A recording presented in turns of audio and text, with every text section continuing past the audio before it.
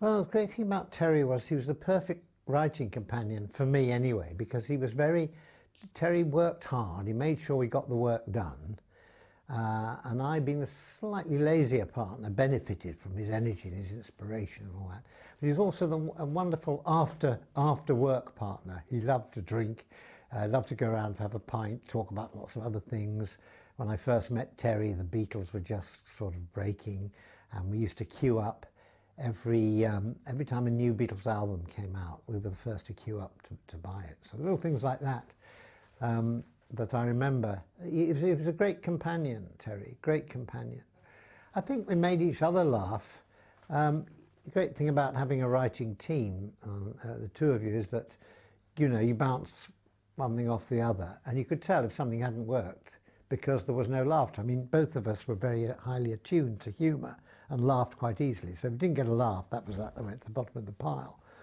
Um, so you, usually, yes, because we had a, a shared sense of what was funny, which was kind of more, I would say, the whimsical sort of stuff, more Spike Milligan than uh, David Frost.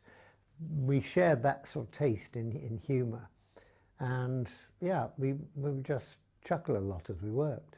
Well, he was so convincing as his mother. Basically, that's what the, the woman character was, really. And Terry's mother was a lovely lady, kind of very straight, sort of uh, feet on the ground, but had this rather nice reflective thing. So that uh, came out. And then Terry sort of um, exaggerated her a bit for uh, Mandy in the life of Brian, turned her into a bit more of a harridan and all that. But he seemed to be very, very comfortable inside the women's clothing, a certain kind of woman. I don't think he, um, Eric Idle did the sort of glamorous drag.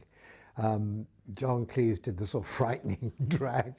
And Terry was the most convincing, yes, he was really, really good at that. But he could, you know, Terry was a great performer. He could conjure up all sorts of different characters.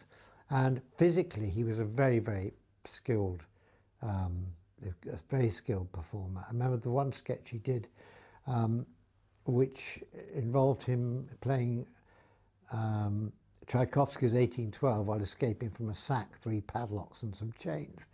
And Terry did this thing, rolled in, and he actually managed to just get his hand out, played the piano, bong, bong, bong, bong, then loosen it a bit, bong, bong, bong, bong. And after 35 seconds, he was out of the sack, and da-da! And it re really looked really, really good, but it was an incredibly dangerous thing to do, uh, rolling about and crashing around and missing his footing and all that.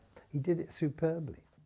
Used to write with Terry, and, and he had a house in Black Prince Road, which is down in Waterloo.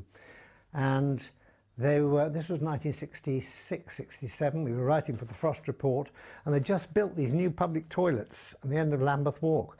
And they wanted a local dignitary to help open them. And um, they didn't have anybody apart from Terry. Uh, they had some writers living there. So Terry and myself um, were, were escorted out to open the new toilets on Black Prince Road and be the first to use them. We went in, there was a, a band playing outside, and we went in, and the, the mayor, I think, was also at the urinals with us, and uh, I couldn't couldn't do a thing. I'm afraid it was quite overcome, and we laughed and laughed at that for a long, long time. But then we were, yeah.